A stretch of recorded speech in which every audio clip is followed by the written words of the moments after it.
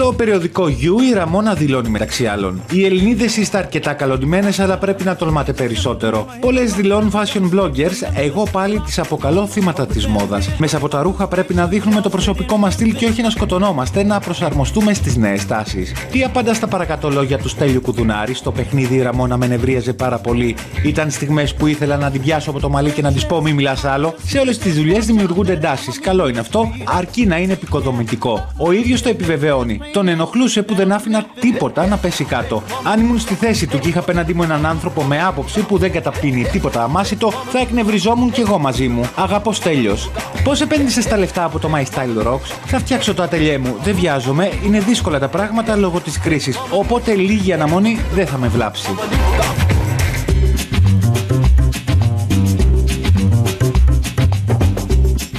Λες, ο Δημήτρης Παπανότας σχολίασε για σένα.